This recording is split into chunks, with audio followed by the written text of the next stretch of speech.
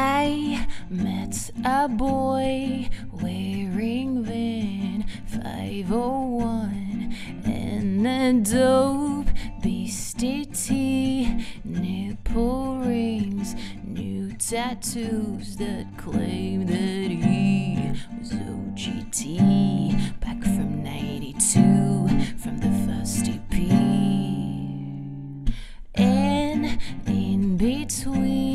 sips of coke, he told me that he thought we were selling out, laying down, sucking up to the moon. Now I've got some advice for you, little buddy. Before you point your finger, you should know that I'm the man.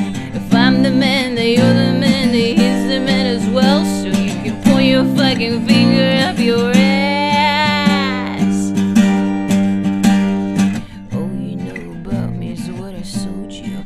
Dumb fuck. Sold out long before you even heard my name. I sold my soul to make a record, dipshit. Then you want. Now I've got some advice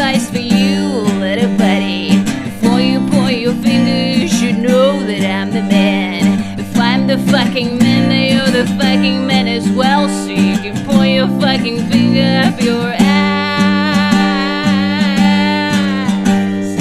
Oh, you reading well, seeing here on TV is a product begging for your fat ass, dirty dollars.